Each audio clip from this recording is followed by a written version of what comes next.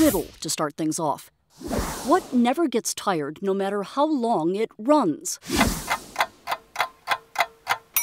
Water. H2O, one of the great riddles in chemistry and the natural world. It's the only natural substance on Earth found in all three common states of matter liquid, gas or vapor, and solid, ice. Which is another riddle. Unlike ice, almost all other substances behave like steel. When in liquid form, like molten steel, they're less dense than when in solid form. As steel changes from liquid, cooling into a solid, say a steel beam, it condenses, concentrates, gets more compact.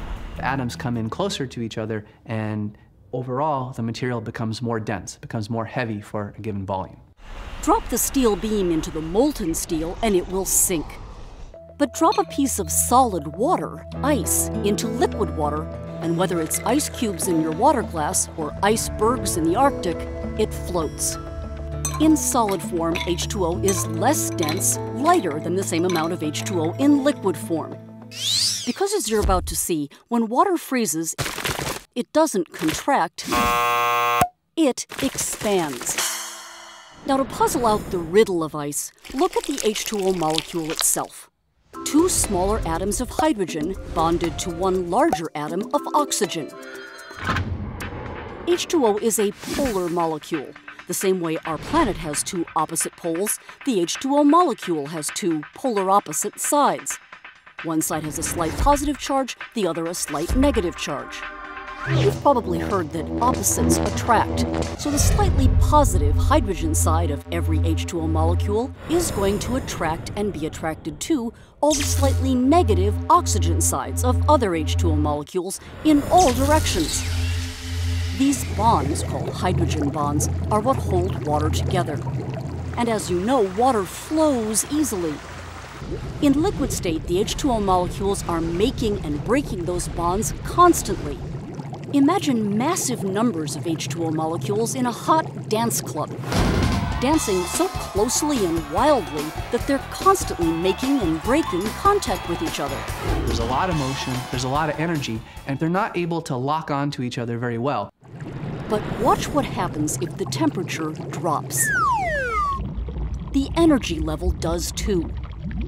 The H2O molecules move more slowly spaced further apart as if at arm's length. This is the water expanding as it freezes, which is at 0 degrees Celsius or 32 degrees Fahrenheit. That's water's freezing point, the temperature at which liquid water becomes solid water, ice.